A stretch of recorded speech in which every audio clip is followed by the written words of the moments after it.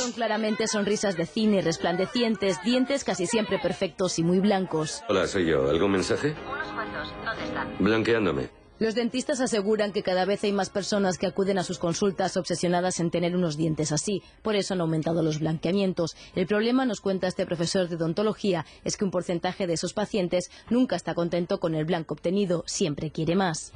El color de los dientes tiene un umbral y hasta ese umbral se puede llegar, pero más de ese umbral es imposible conseguir más. Entonces, eh, conseguido ese umbral es muy difícil conseguir más color, más blanco el, el diente.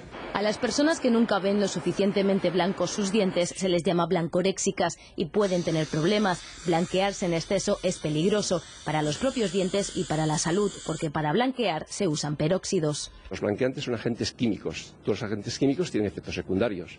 Eh, los efectos secundarios pueden ser que afecten al nervio del diente o afecten también la encía, los tejidos blandos. En las farmacias también ha aumentado la venta de productos y pastas blanqueantes, pero el peligro, dicen los dentistas, está en los productos químicos que usan los profesionales y que algunos pacientes consiguen de forma inadecuada por Internet. Su venta solo está permitida a especialistas. Pues en la Plaza de la Lealtad.